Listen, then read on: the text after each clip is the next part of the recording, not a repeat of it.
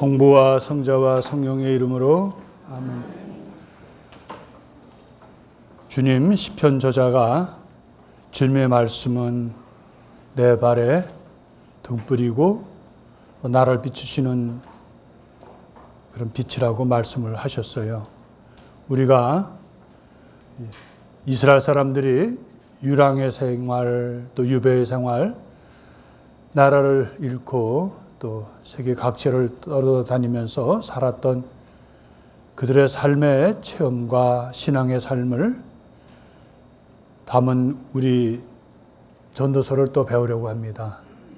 우리도 이 세상에 살면서 때로는 나그네처럼 때로는 이방인처럼 또 사는 저들의 삶에 용기를 주시고 또 지혜를 주시고 특히 무엇보다도 어떤 상황 속에서도 주님께로 향하는 그런 신앙을 우리에게 심어줄 수 있는 그런 공부가 될 수 있도록 이끌어 주시고 또 우리 마음을 열어서 더욱 이스라엘의 역사 안에서 흐르는 참다운 신앙의 삶을 체험할 수 있도록 우리를 이끌어 주소서.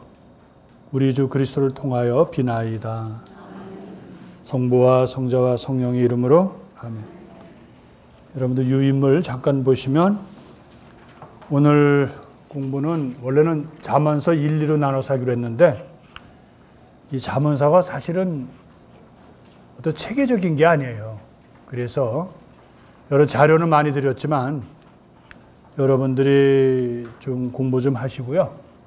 오늘 자문은 오늘 이 시간으로 한 시간에 좀 무리는 되지만 이렇게 해서 하기로 했습니다.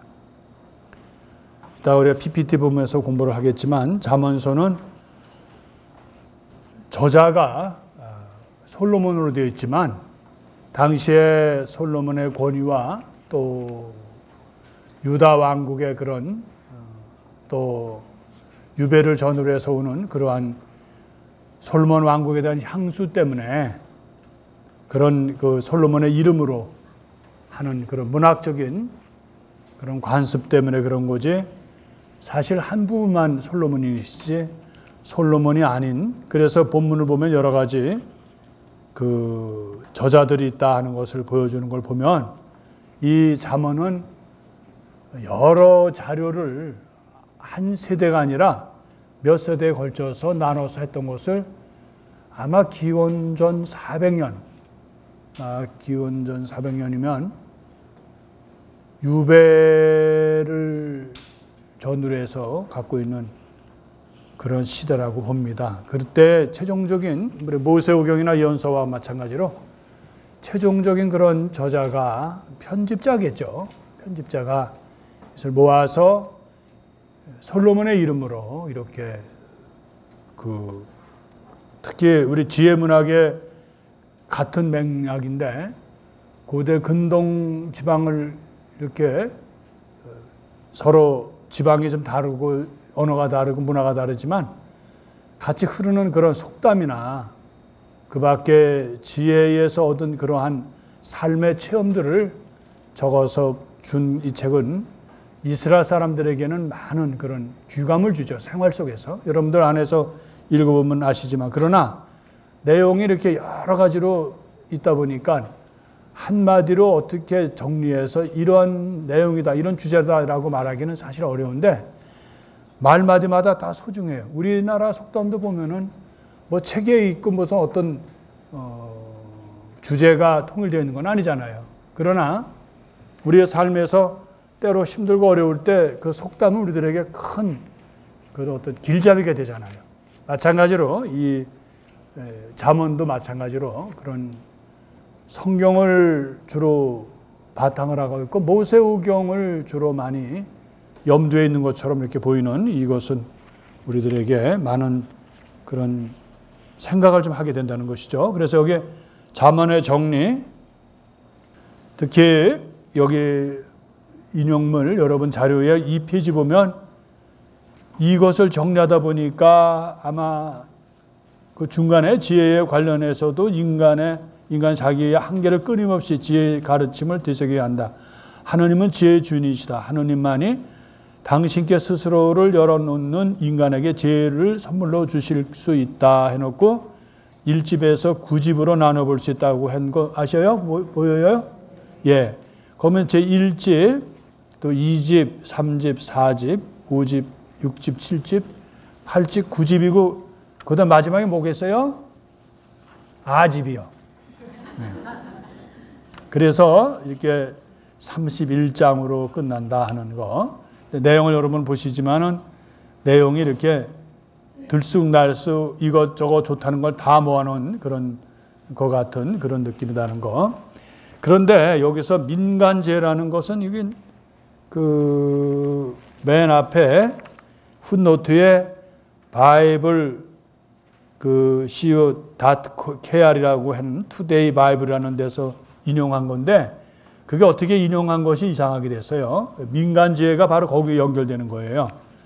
그래서 이 내용이 왜 좋냐면 솔로몬의 이름으로 되어 있고 아굴의 이름으로 되어 있고 또 이렇게 몇 사람의 왕제에 소속된 사람들의 이름으로 되어 있지만 사실 이거는 민간인들에게 떠도는 민간인들에게 이미 있었던 자료들이다. 민간인들 사이에서 있었던 지혜의 말씀들이었다 하는 것을 이제 그 왕제에 있는 사람들, 특히 서기관이라 그러죠. 성경을 또 쓰고 왕궁의 서고를 정리하고 이렇게 나눴던 서기관들에 의해서 아마 이것이 모집되었고 편집되었을 것이다. 이렇게 이제 가설을 내세우는 거죠. 그래서 여기서 왜 민간의 지혜라 그러냐면 우리도 그렇잖아요. 우리 속담도 가만히 보면 어떤 뭐, 어, 뭐 고려나 조선에서 어떤 뭐 학자들이 쓴 게 아니고요. 이미 민간인들 안에서 있는 어떤 삶의 지혜가 있는 거거든요. 그래서 우리 속담도 가만히 보면 어, 민간인들의 지혜가 바로 함께 있다. 그것이 바탕이다. 그것이 뿌리다라는 얘기예요. 그것을 이렇게 길게 쓴 것뿐이지 내용은 그, 그, 소, 그 프로법 그러니까 에, 뭐죠? 잠언이 바로 이름은 왕제에 의해서 쓴 것 같지만 뿌리는 민간인으로 되어 있다는 얘기. 여기 현인들이라고 6번에 나오는 거 4페이지 보면 이것은 아마 그 현인들은 서기관 이것을 모은 사람들이 아니겠는가 이렇게 보고 있는 거예요. 그리고 여기 여러분들에게 이렇게 자료가 이렇게 많지는 않아 여러 종류로 내리지만 정말 이렇게 우리한테 이롭고 정말 필요한 자료가 많지가 않아서 여러분들에게 이것을 다 다른 성경처럼 해주기가 참 어렵습니다. 내용은 참 좋은데요. 어, 이거는 뭐 개신교 신자분들도 꽤 많이 읽는 그런 거는 왜냐하면 여기 중에 이런 바도 있어요. 누가 아마 그 빚, 빚 보증을 써가지고 아주 아주 집안이 아주 폐가 망신이 된 집이 있나 봐요. 근데 와가지고 개신교 신자분이 이 잠언을 내, 내가 미리 읽었더라면 그렇게 집안에 폐가 망신이 안 됐을 텐데 왜냐면 거기 뭐가 나오는 빚 보증 쓰지 마라. 그냥 쓰지 말라 그러고 뭐라 썼냐면 절대로 쓰지 말라고 나왔거든요. 예? 그거를 자기 알았더라면 누구도 빚 보증을 안 썼을 텐데 써가지고 아주 그냥 그 담보를 해가지고 다 줘가지고 아주 남는 건 길바닥에 식구들이 다 내려앉았다 는 얘기를 했어요. 그러니까 그런 거는 동서고금을 해서 똑같은 거죠. 빚보증 쓰지 말라고. 그러니까 여러분들 뭐 이미 쓰신 분은 할 수 없지만 앞으로 쓰실 분은 이제 이 자문을 공부하시고는 절대로 쓰지 마셔요. 빚보증만 여러분 안 쉬어도 빚보증 쓰느니 차라리 우리는 교회에서 어떻게 하냐면은 돈을 달라면 돈을 어, 돈을 꿔달라면 주진 말라는 거예요. 그래 대신 돈을 줄 수 있는 것만큼은 주려는 거예요. 그, 그것으로 다 하는 거다. 모든 것을 다 남의 어려운 걸 다 그냥 그걸 다 들어주기에는 우리 삶이 정말 힘들다는 얘기예요. 그러니까 여기에 이 전체 말마디를 여러 쭉 보면은 서로 각기 다른 게 많아요. 근데 다 이것이 지혜의 삶의 지혜에서 나오는 얘기들이거든요. 그럼 한번 우리가 PPT를 보면서 한번 해볼까요?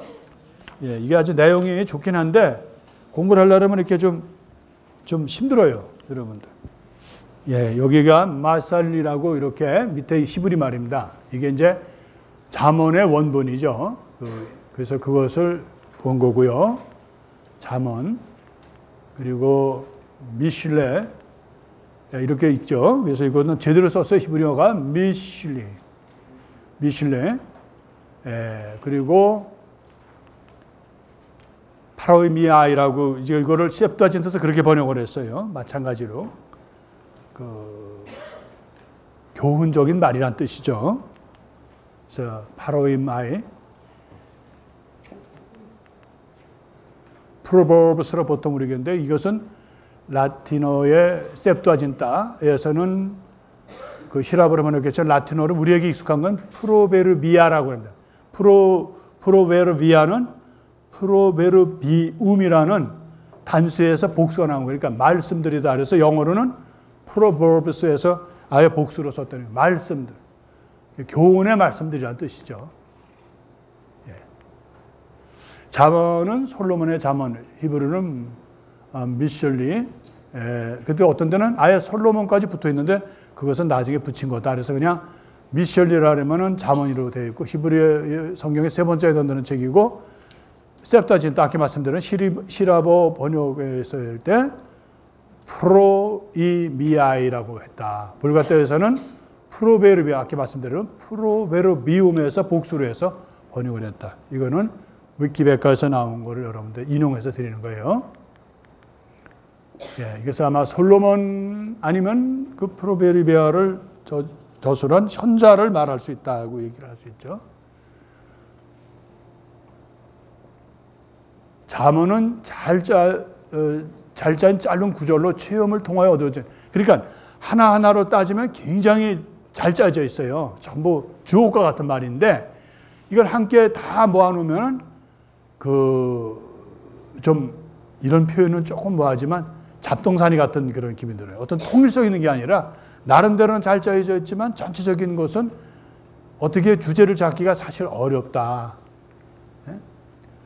예? 그러나 자문은 백성이 삶에 대하여 가지고 있는 체험에서 나온 가르침으로서 그 목적은 복잡한 상황을 풀어 밝혀주고 이정표처럼 인생의 방향을 가르쳐 보이는데 있다라는 얘기예요. 무슨 얘기냐면 지침을 주는 거죠. 왜 우리가 어른들이 지혜가 많다. 과거에 당한 일들이 많거든요. 뼈 아픈 일, 또 눈물 흘린 일, 또 고통스러웠던 일들을 통해서 우리 경험을 알잖아요. 그러니까 노인들이 지혜가 많으시다는 얘기는 뭐냐? 그만큼 삶에 많은 그런 경험을 했다는 얘기거든요. 그런 얘기예요. 복잡한 상황을 했지만 이제 그것이 삶을 뒤돌아보면서 보면 그게 어떤 그 원칙이 있다는 것을 이제 알려주는 것이죠. 예, 프로베르비아에서 뭐 여기 뭐 여기 영어로 많이 나왔어요. 그래서 교훈적인 거, 지침, 또 현명한 관계를 유지하는 거, 우리가 배우는 거, 또 이해하고, 또 우리가 프로, 보통 삶의 지침이죠. 삶의 교훈, 삶의 길제배라고 할까요? 그런 거. 우리 뭐 나침반, 배를 따지면 나침반과 같은 거죠. 아무리 배가 흔들려도 변하지 않는 진리가 있다 하는 것을 알려주는 것이죠.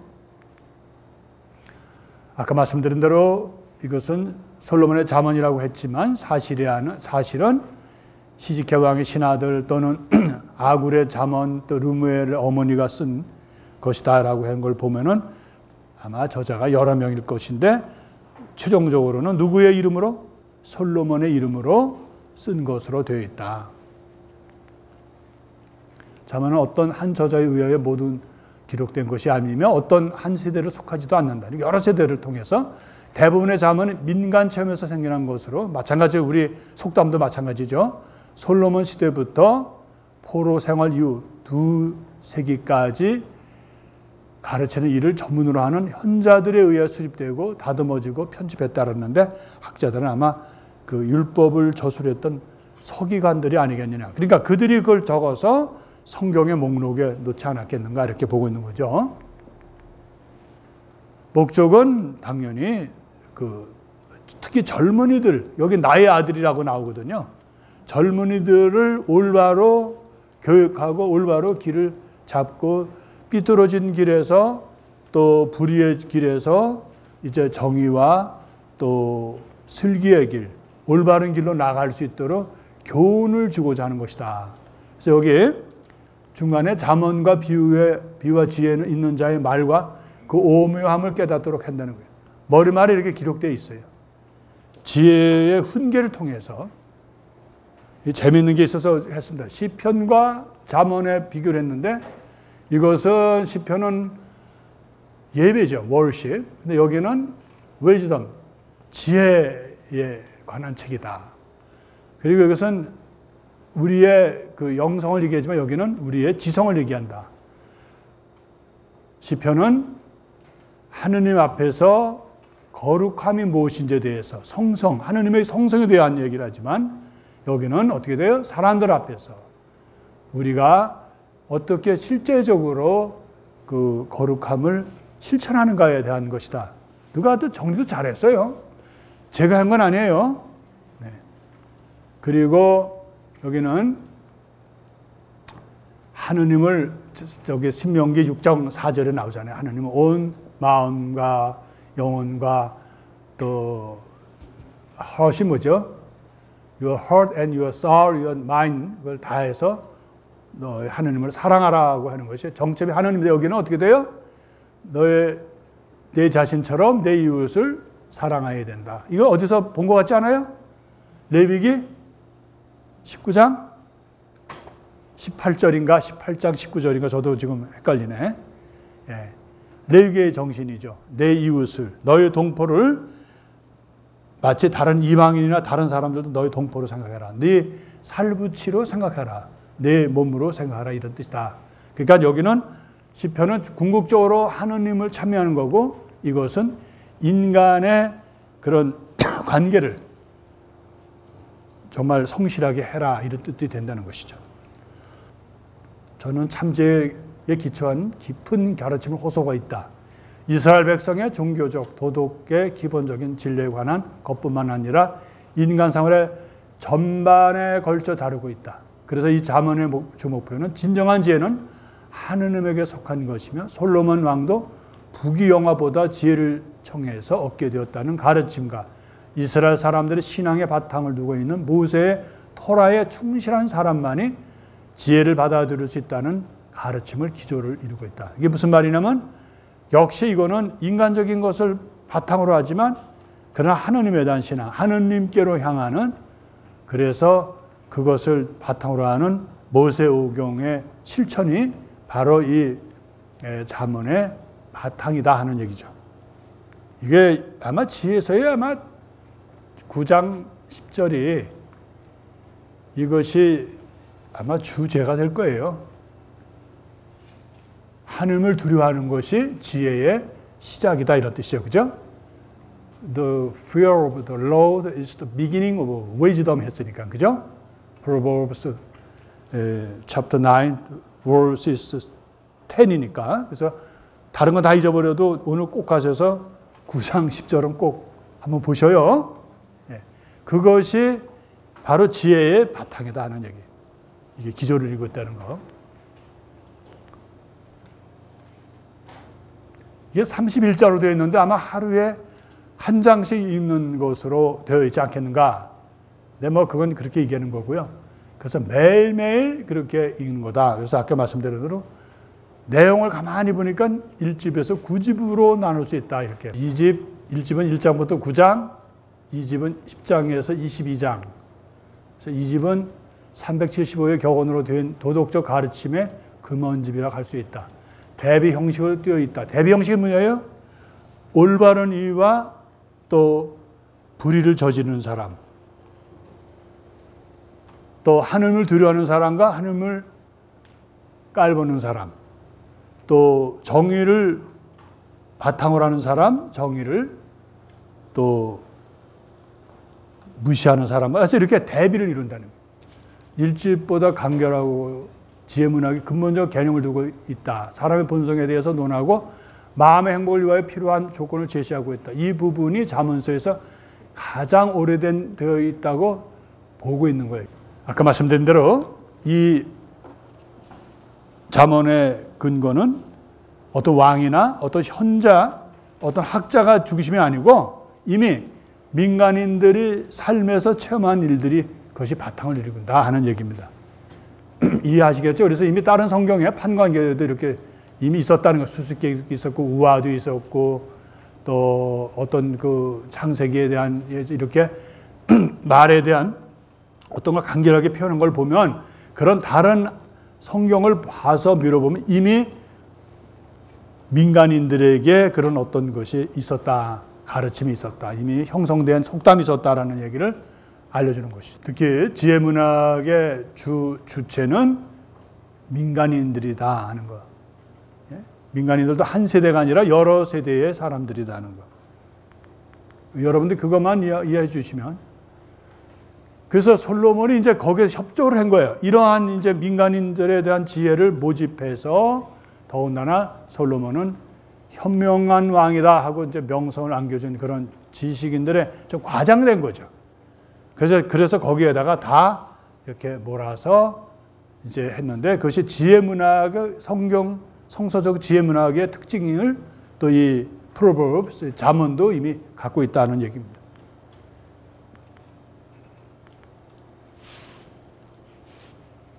예, 이거는 여러분들 다시 한번 읽고 다 여러분 본문에 다 있는 거예요. 제가 중요하다고 해서 이렇게 해놓은 건데 현명한 왕으로서의 솔로몬이 누린 명성은 틀림없이 궁중 당국자들의 과장된 찬사에 힘입었을 것이다. 과장됐다는 거예요. 왕이니까.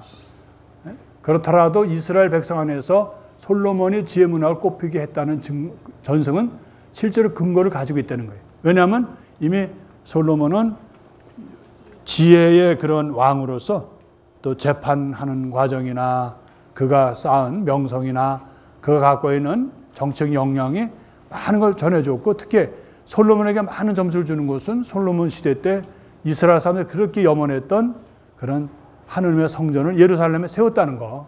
그래서 솔로몬이 말년에는 좀 안 좋았어요. 솔로몬이 나중에는 막 스캔달이 되고 막 그냥 어려웠는데도 불구하고 이스라엘 사람들이 유배를 다녀오고 나서도 그 솔로몬의 그런 시대를 잊지 못하는 거예요.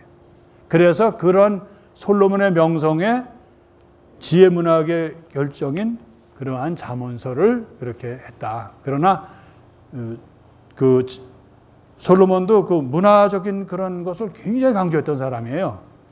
그래서 이스라엘 사람들이 아마 그 어느 왕보다도 솔로몬 시대 때 이렇게 책을 내고 또 책을 편집하고 성경이 완성되고 했던 것이 이 시대가 많거든요. 그래서 솔로몬을 높이 평가하고 자문서도 자연스럽게 솔로몬과 연결됐고 또 실제로 솔로몬이 또 그 뭐 본인 직접 아니더라도 서기관이나 거기에 있는 왕궁에서 일하는 사람들이 그것을 협조했을 거라고 보고 있는 거예요. 그러니까 민간인과 쉽게 말하면 왕제도에 있는 사람들과 합작품이다 이렇게 생각하시면 돼요. 이건 이태리 이태리 사람들이 한 거로 재밌어서 이태리도 이렇게 있어요 격언이 뭐예요? He has nothing at all. 뭐예요? 그 사람은 참지 못하는 사람은 어떻게 돼요? 허당이다. 뭐 이런 말이 아니겠어요? 네. 이태 사람들이 참 잘 참아요. 가만히 보면 다혈질인 것 같아도 보면은 참 참기 참는 게 왜 그러냐면 그 전에 이제 그 각 나라 이제 사람들 같이 지내잖아요 기숙사에. 이태리 사람들이 제일 편한 것 같아요. 그 바탕은 제가 알기는 아마 신앙의 바탕일 거예요. 2000년 동안 미은이 고은이도 카톨릭의 본고장으로서 이태 사람들이 그 그리스도교 정신이 되어 있거든요. 그 사람들에게는 어쨌든. 그래서 여기 서기관 장품이라고 보는 거죠. 여기 이제 학자들은 이것을 다 모아서 그래도 이렇게 여러 세대에 있던 것을 어떻게 모아서 이렇게 성경의 목록을 넣겠냐. 그것은 아마 확실하진 않지만 서기관들이 솔로몬 시대 때에 그것을 필사해서 이렇게 해서 다 모아놓은 거 아니겠느냐 이렇게 보고 있는 거예요. 그러나 여기서 이 역시 서기관들은 성경을 필사한 사람들이니까 거기서 주님을 경외하는 거. 아까 말씀드렸죠. 9장 10절. 제 시작은 주님을 경외하면서 그리고 그분을 아는 데서 시작하는 거다. 이렇게 나온다는 거예요.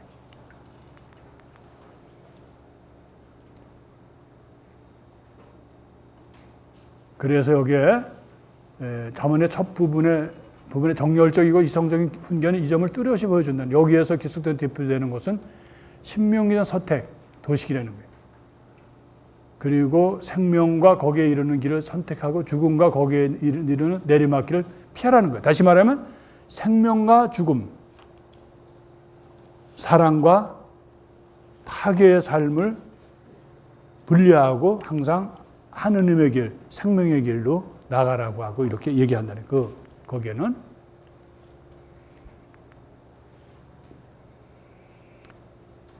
그래서 여기는 이제 생명에 관한 얘기를 쭉 하는데 그것은 아마 창세기 저자가 나오는 창세기의 낙원의 이야기에서 연루되지 않았겠는가 그렇게 연결시키지 않겠는가 하는 걸 본다는 얘기예요.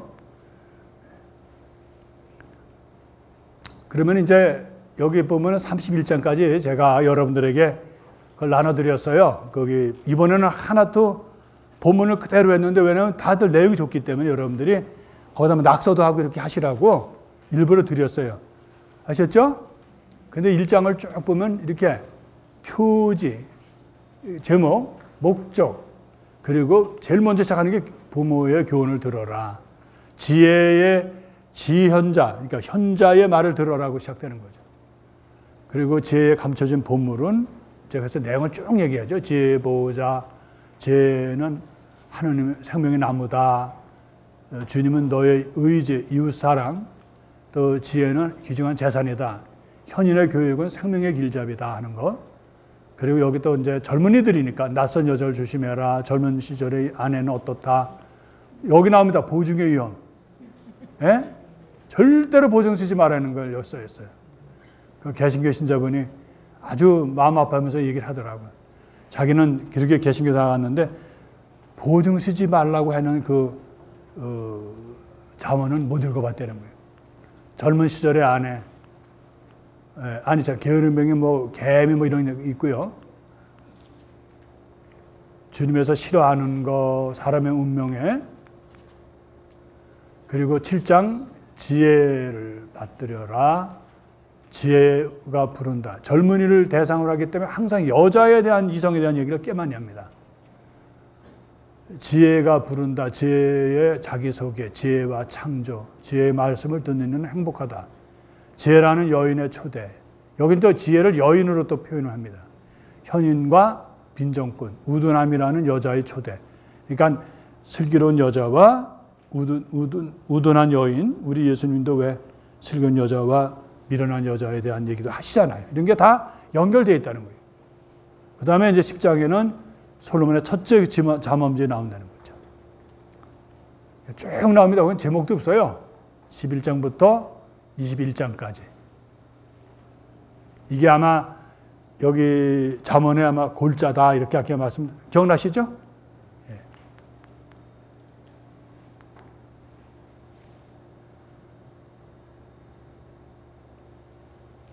이 지혜서의 가만히 내용을 보면 긍정적인 삶을 살아라는 뜻이에요.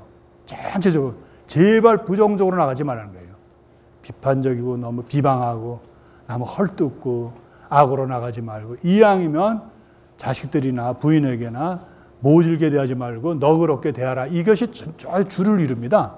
그런 걸 보면 우리가 미사 끝나고 기쁘게 살자는 게 틀린 말은 아니라는 거예요. 저가 이 잠언 때문에 이런 건 아니에요. 우리 교우들이 아무리 미사를 잘하고 나가도 나가서 성질 부리고 싸우고 불목하고 인생을 슬프게 살면 무슨 소용이 있어요. 그죠? 그러니까 미사의 그 줄을 우리가 잘하고 나가서 잘하면 이 잠언이 우리를 따라오겠죠. 그래서 음악을 알고 좀 낭만을 좀 알고 제가 여기 미국 가서 제일 마음 아픈 게요. 우리 교우들이 낭만을 몰라요. 낭만. 좀 여행도 좀 가는데 그맨 그냥 뭐 순례하는 뭐 그룹 따라가지고 가 사진 찍고 오는 거 그런 거네. 저 어디 딱 대놓고선 부부가 좀 산책도 하고 또 거기에 문화 행사도 좀 참여하고 좀 아무 의미 없이 그냥 가만히 쉬는 것도 참 쉬는 건데 꼭 뭐 사진 찍고 뭐 돌아다니고 증명을 해야 여행하는 줄 알아요. 근데 사실 여행의 진미는 1년 동안 우리가 일을 열심히 하고 또 여행을 가서 여유 있게 그곳의 문화라든지 그곳에 또 정치도 있잖아요. 음악이 주는 거, 또 경치가 주는 거, 또 사람들 살아가는 그런 모습도 보면서 참 좋을 텐데 가만히 보면 우리 교우들은 성지순례 가는 게 다야 그냥. 성지순례 가는 것도 가서 한 2, 3일 또 사막에 가서도 좀 기도도 좀 하고 조용히 좀 외로움이 뭔지도 좀 알고 좀 이러고 와야 되는데 맨 가서 뒤지고 볶고 싸우고 그냥 그리고 와요. 그게 또 여행이래. 이 여행 그거 아니에요. 여행은 부부가 가서 조용히 정말 지내는 거라고 봐요. 그냥 아무것도 안 하고 있는 것이 가장 큰 여행이고요. 그냥 아무 생각도 없이 그냥 그냥 그 기차 가는 대로 자동차 가는 대로 자동차 가는 대로 가면 또 안 되겠지 운전하셔야 되니까. 그래서 여기에 쭉 이제 이어지는 거죠. 22장부터 31장까지. 그래서 아버지가 아들에게 추구한 그 충고하는 내용의 것을 이스라엘 사람들 제일 싫어하는 것 중에 하나가 게으름이에요. 예? 빈둥빈둥 어, 노는 거, 또 일 안 하는 거. 그리고 두 번째로 여기를 쭉 읽어보면 빈중되는 사람을 싫어하더만요. 빈중되는 사람 있잖아요. 왜? 우리나라 말로 빈중된다는 말을 다른 말로 뭐라고 하죠? 빈정된다? 빈정이 맞는데 빈중은 강원도 말인데 예. 빈정되고 왜 사람을 이렇게 좀 부정적으로 해서 이렇게 좀, 좀 좋게 얘기를 하지는 않고 꼭 이렇게 허물을 잡고 그러는 사람을 얘기하는 거 아니겠어요? 제가 알겠는데 여기 꽤 많이 쓰더라고요. 그 다음에 이제 야구르의 말, 그 다음에 루무엘의 잠언 이렇게 해서 솔로몬 현자들의 이야기, 야구르의 말, 루무엘에서 거의 네 개로 이렇게 나누죠. 그 마지막에 훌륭한 아내에 대한 얘기를 하는 거 보면 역시 그 서기관도 부인이 굉장히 중요하다는 거 알아는 명이에요. 예? 마지막 결론을 훌륭한 아내로다가 놓은 걸 보면 예. 여기 보면 뭐 그래요. 예. 비아냥거리는 마누라고 사느니 차라리 사막에 가서 그냥 혼자 사는 게 낫다. 그런 게 나와요. 예? 예. 뭐 하여튼 그런 부인에 대한 얘기를 많이 써요. 그러나 그 현명하고 슬기로운 아내와 사는 것은 하느님이 주시는 가장 큰 선물이다 이렇게 나오거든요. 그런데 그건 남자들에게도 달려 있을 거고 또 여자분들도 서로 노력해 주지 않겠어요? 예. 하여튼 이래서 이게 자문서가 다 이렇게 끝나는 겁니다. 그래서 이제 여기 아까 말씀드린 대로 나눴던 거 솔로몬의 잠언 이래서 나눈 걸 일정을 한번 해봤어요. 이스라엘의 임금 다윗의 아들 솔로몬의 잠언 이게 표제라는 거예요. 목적은 지혜로운 이는 이것을 들어 무슨 이것을 들어요. 교훈, 지혜로운 교훈을 듣는다는 거예요. 들어서 교문을 더하고 슬기로운 이는 지도력을 얻으리라. 그러면 잠언과 비유, 현인들의 말씀과 수수께끼를 이해하게 될 것이다.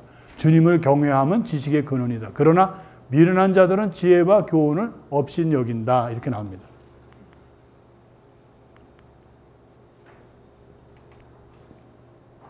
1장 7절의 말이죠. 저 위에 거. 주님을 경외하면 지식이 근원이라는 거. 그 다음에 30장에 가서야 솔로몬의 첫 번째 잠언집이 다시 나옵니다. 솔로몬의 잠언. 그러니까 아마 이것이 서로, 서로 다른 자료였을 것이다 이렇게 보는 거예요. 그래서 다시 내용도 중복되는 거 있고 또 다른 것도 있고요. 솔로몬의 잠언, 지혜로운 아들은 아버지를 기쁘게 하고 우둔 아들은 어머니의 거짓말거리게 된다. 첫 번째도 이렇게 나와요. 예? 아버지가 아들에게 교훈을 주는 불의하게 모은 보아는 소용이 없지만 정의는 사람을 죽음에서 구해준다. 주님께서는 의인의 갈망을 채워 주시고 악인의 욕망은 물리치신다.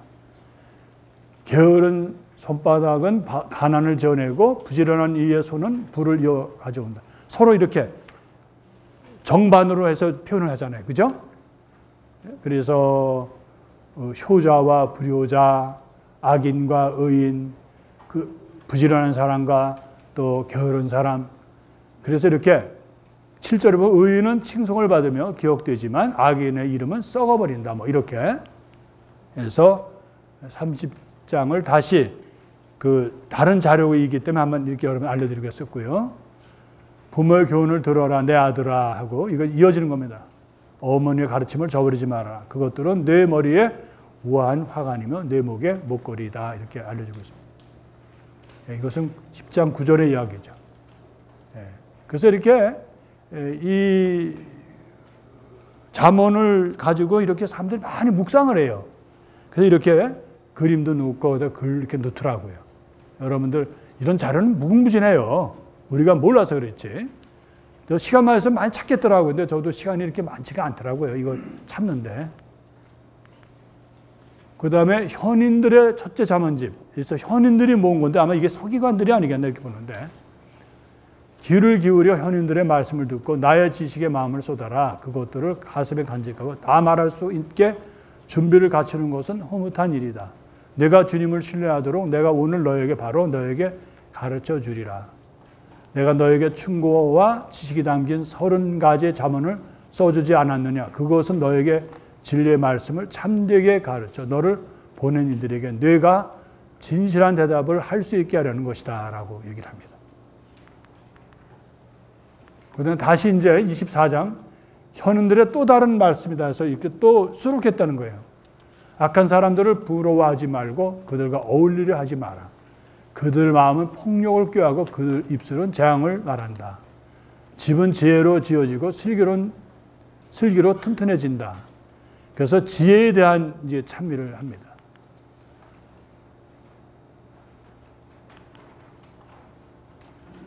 의인은 일곱 번 쓰러져도 일어나지만 악인은 불행 속으로 넘어지기 마련이다. 여기 17번도 참 좋은 말인 것 같아요. 내 원수가 쓰러졌다고 기뻐하지 말고 그가 넘어졌다가 마음속으로 즐거워하지 마라. 우리가 신앙이 어설프면 누가 불행하면 기뻐한다고요. 근데 정말 신앙 깊은 사람은 남에게 절대로 저주나 또 불행을 기뻐해서는 안 된다는 거예요. 우리 신앙에도 마찬가지로 우리 갈등을 갖고 있죠. 어떤 때 인간이니까 나를 못 살게 굴고 나에게 상처를 준 사람 잘못되면 아유 고소하다라고 할 수 있지만 말이라도 하지 말라는 거예요. 가끔씩 교회 성사 볼 때 그러면은 아유 그렇게는 하지 마세요 얘기는 하죠. 근데 오직 하면 그러시겠나 생각을 하면서도 다시 현인들의 둘째, 이제 다른 집, 그다음 둘째 자문집을 또다시 얘기합니다. 28번 까닭 없이 이웃을 해치는 증인이 되지 마라. 내 입술을 입술을 남을 속이지 마라. 근데 많은 사람들이 살다 보면요. 남의 험담에 가담하는 것도 사실 여기 들어가거든요. 남을 해치는 소리거든요. 근데 신앙인들이 사실 그건 갈고 닦아야 돼요. 그래서 신앙인들에게는 저주나 남을 비방하는 얘기를 해서는 안 된다는 사실은요. 예? 근데 우리는 이렇게 얘기하잖아요. 할 땐 하더라도 하지 말아야지 이러잖아요. 예?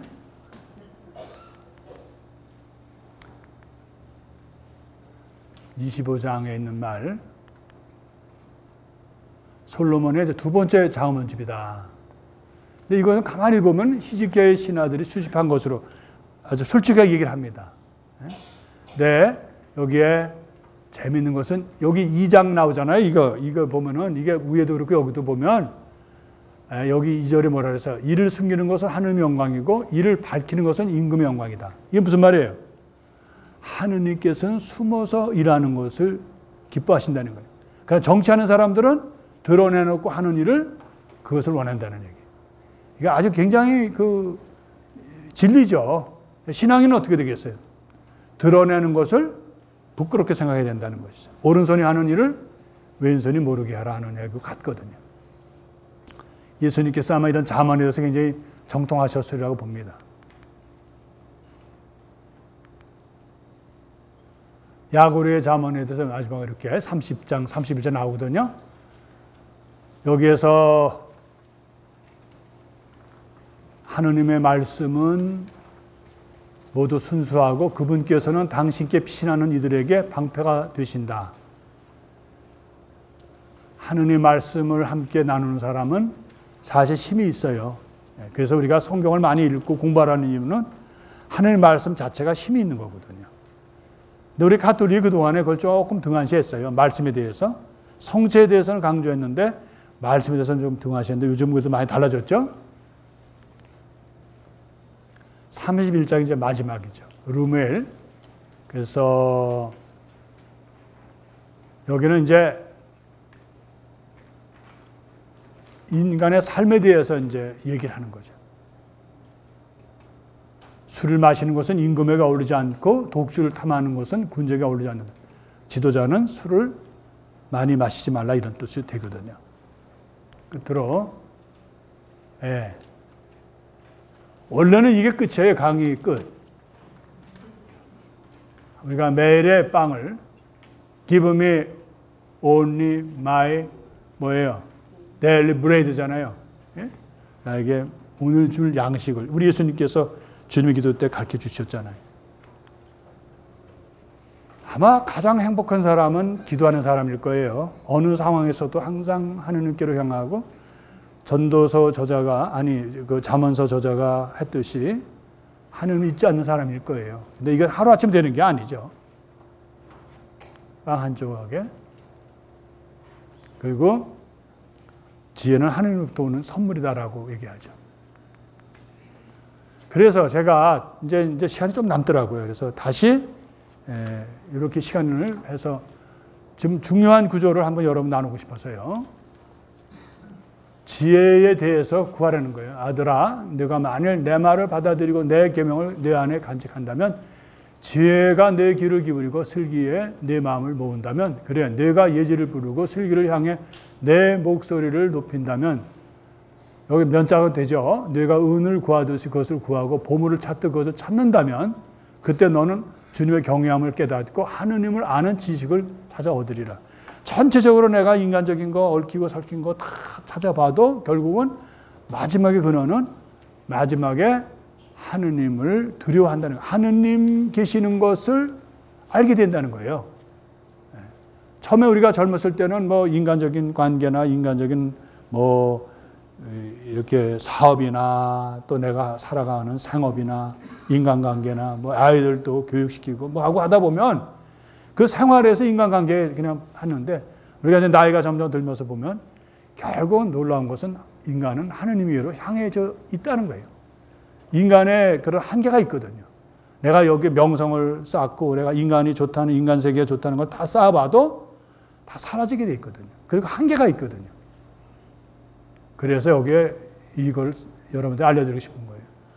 하느님이 누구라는 것을 알게 된다는 거예요. 그동안 내 경험이나 나의 실망이나 나의 한계나 때로 나의 허무함을 통해서 아, 이 세상이 꼭 인간적인 그런 한계로 끝나는 것은 아니라는 것을 알게 된다는 것이죠.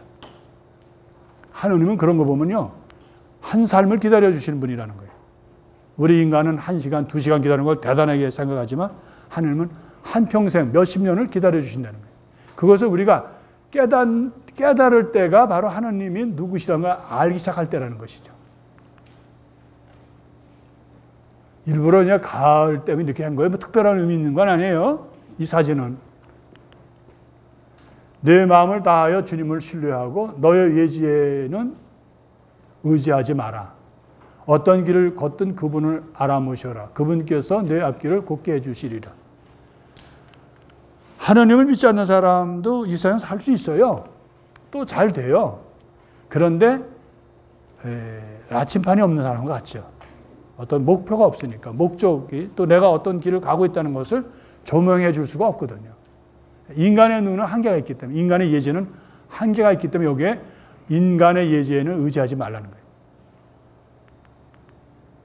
내가 할 수만 있다면 도와야 할 이웃에게 선행을 거절하지 마라. 가진 것이 있으면서도 내 이웃에게 갔다가 다시 올게 내일 줄 테니 하지 마라. 그렇게 말하지 말라는 거예요. 왜? 우리가 남 도와줄 때 잘 핑계를 댑니다. 지금은 아니야.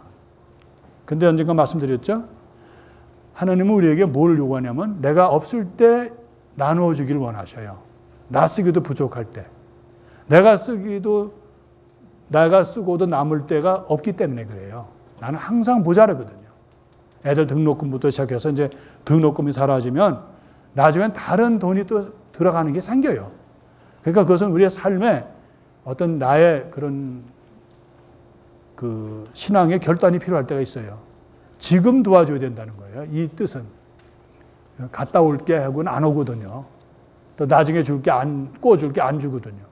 지금 작은 것이라도 나누라는 뜻이에요. 굉장히 중요한 얘기입니다. 우리가 남을 도와주냐 안 도와주냐는 내가 나중에 돈을 벌어서가 아니라는 거예요. 왜냐하면 우리 돈 못 벌어요. 어떤 돈을 못 벌어요? 넘치도록 넘치도록 남는 돈을 못 번다는 거예요. 항상 돈을 벌면 어떻게 돼요? 쓸 일이 생긴다는 거예요. 그러니까 그 자리에서 도와주라는 게 굉장히 중요한 말씀이고 특히 저에게도 굉장히 그 큰 것이 돼서 때로는 아유 나중에라는 생각을 하는데 그렇게 하지 않으려고 노력하거든요. 지혜가 부르지 않느냐 슬기가 몫을 높이고 있지 않느냐 지혜가 언덕 위 거리가 내려다 보이는 곳에 네 거리에 서 있다. 성문 어기 성문 곁에 여러 대문 간에 외친다. 이게 무슨 말이에요? 지혜라는 게 따로 있다는 게 아니에요. 지혜라는 게 무슨 현자들이 뭐 아주 고승들이 공부해가지고 딸고 딸고 또 뭐 이렇게 터득해서 얻은 결론이 아니라 그때그때 내 삶에서 있는 것이 지혜라는 거예요. 그러니까 나, 나에게 흐르는 그런 올바른 소리, 정의의 말, 또 양심의 소리, 또 복음의 이야기를 무시하지 말라. 그때그때 받아들이라는 뜻이에요.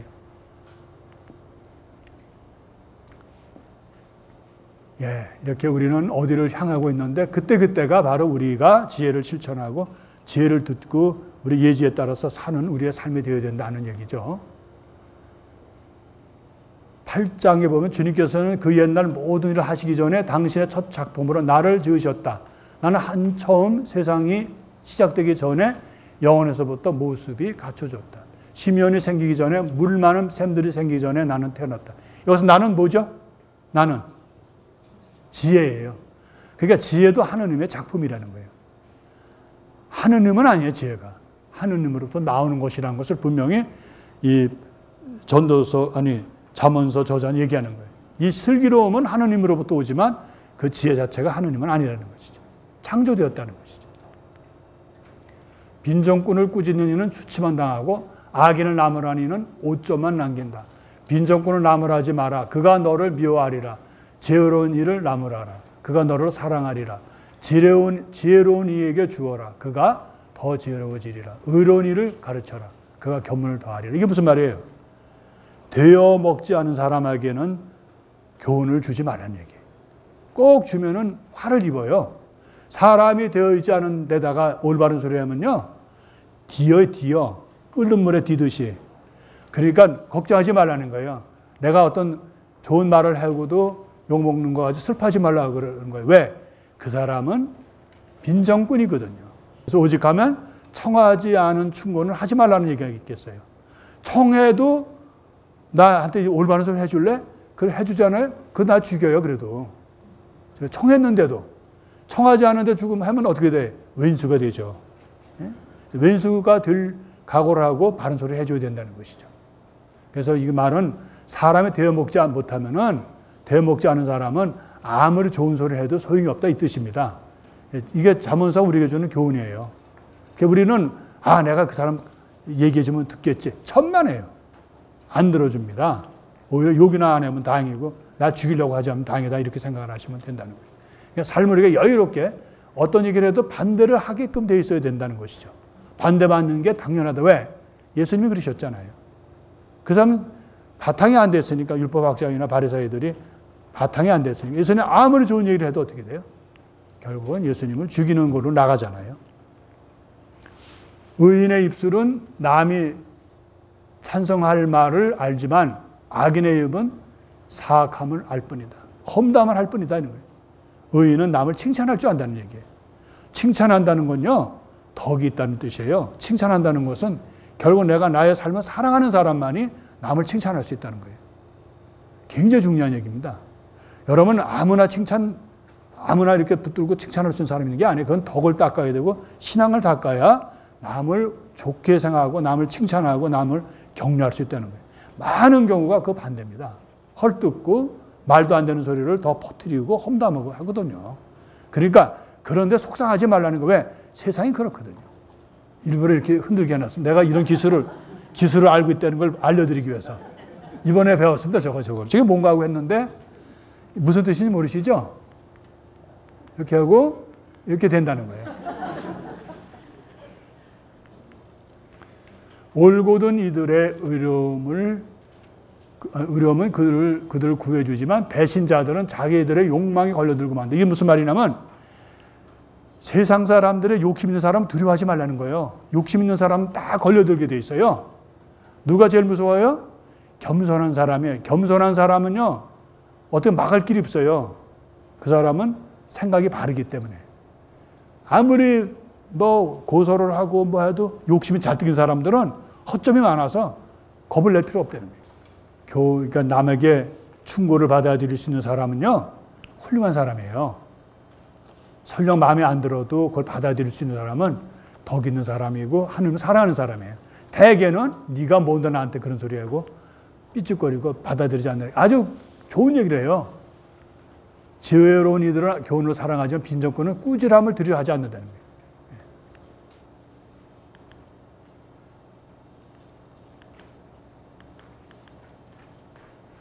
부드러움은 모든 걸 이긴다 이런 뜻입니다.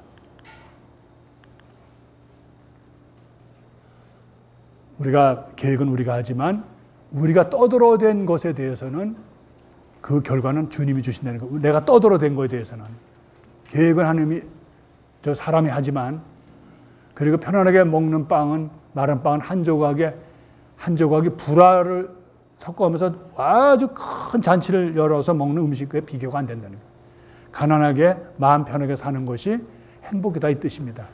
괜히 뭐 불의를 저질러도 돈 모으고 뭐 해봤자 결국은 그것은 아무것도 아니에요. 그리고 사람이 공평한 건 부자나 가난한 사람은 어떻게 돼요? 하루에 세 끼 먹고 잘해 네끼 먹고 소화제 먹잖아요. 그리고 예?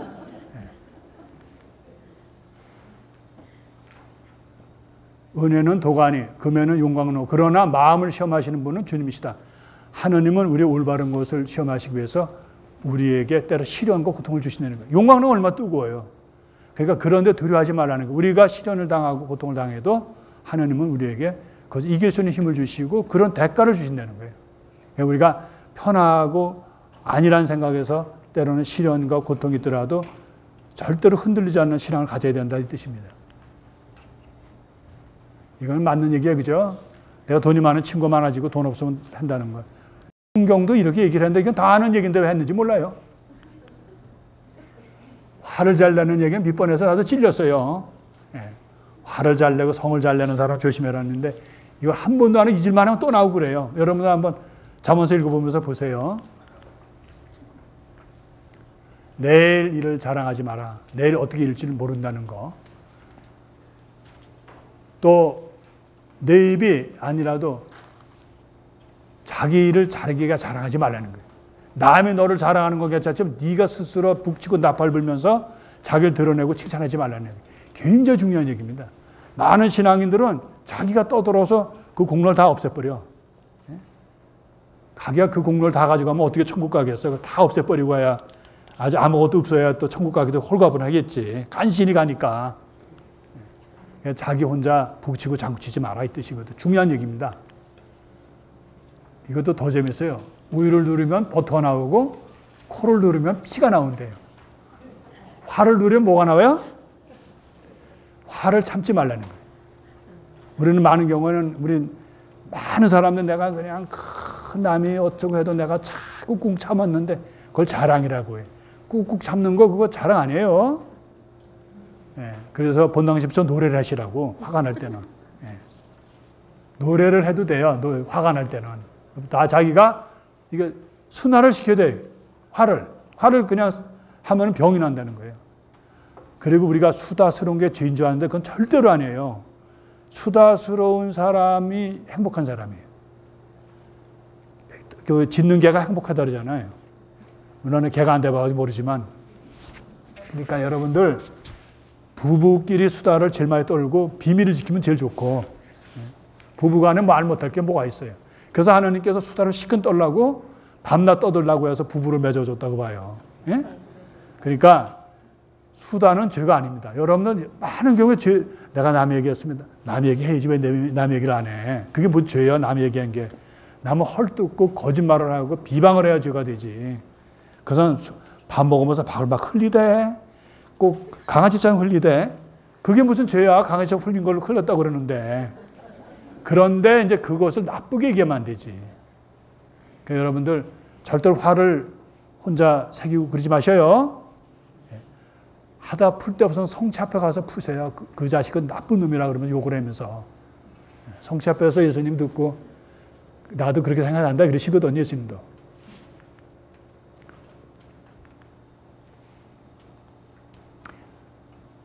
그, 그래서 여기 부인의 훌륭한 거는 입을 열면 죄가 있고 자상함이 있다.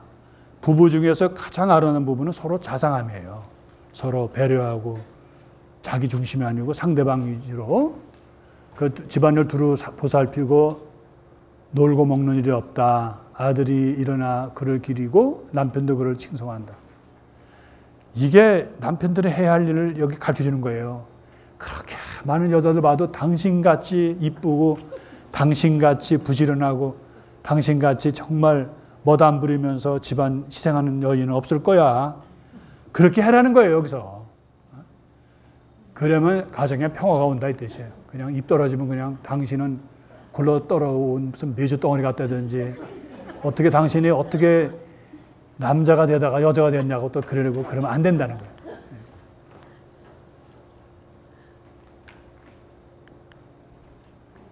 이게 3장 5절이 오늘의 결론입니다. 내 마음을 다하여 주님을 신뢰하고 너의 예지에는 의하지 마라. 아까 얘기했죠? 어떤 길을 걷든 그분을 알아보셔라. 그분께서 내 앞길을 곱게 해주리라. 하나님께 의지하라는 거예요. 여러분 고통스럽고 어려울 때 아유 하나님 알아 해주시겠지. 최고 좋은 기도예요. 누가 틀어졌어요. 도저히 풀 길이 없어요. 아, 하나님 알아주시겠지. 근데 그 말 한마디가 효과가 있다는 거예요. 난 몰라. 주님이 알아서 해주시겠지. 훌륭한 기도예요. 그냥 혼자 하지만. 그래서 이 사람들은 유대인들 여기 가락지 썼잖아요. Trust to the Lord라 썼잖아요. 이렇게. 이걸 보여드리려는 게 이걸 써놨어요. 이거를. 주님을 신뢰하라는 거 여기 썼다고 그렇게. 그리고 끝으로 지혜의 시작은 주님을 경외함이며 거룩하신 분을 아는 것이 곧 예지다. 예, 이것이 전도서의 마지막 결론으로 말씀드리면 예, 이 일반적으로 고대 근동에서 떠다니고 있는 지혜의 말들, 지혜의 경험의 이야기들 이런 것을 속담들의 이야기를 이제 서기관들이나 현자들이 이것을 수집해서 모아서 성경의 목록으로 놓으면서 결국 신앙으로 이것을 받아들인다는 거예요. 모든 고대 근동에 있던 것을 물론 이집트나 또 메소포타미아나 그다음에 가나안에서도 다 자기들 신들 안에서 신앙으로 받아들여요. 그러나 이스라엘 현자는 이것을 받아들여서 결국 하느님 안에서의 그런 지혜로 이렇게 승화시킨다는 거. 그래서 오늘 분명한 것은 제일 사람이 살면서 행복한 게 뭘까? 진실한 거라고 봅니다. 거짓하지 않고 거짓이 있다는 것은 욕심 있는 거거든요. 진실하고 또 진실의 그 가장 주인은 우리의 하느님이시다. 하느님을 경외하고 하느님을 생각하고 하느님을 두려워하고 하느님께로 모든 것을 돌릴 수 있는 사람은 행복한 사람이다. 왜? 진실한 사람이 이렇게 할 수 있거든요. 그래서 우리에게 남는 마지막 우리가 숨을 거둘 때 가장 행복한 사람은 뭘까? 진실한 사람이라고 봅니다. 꾸미지 않고 성부와 성자와 성령의 이름으로 영광이 성부와 성자와 성령께 성부와 성자와 성령의 이름으로 아멘.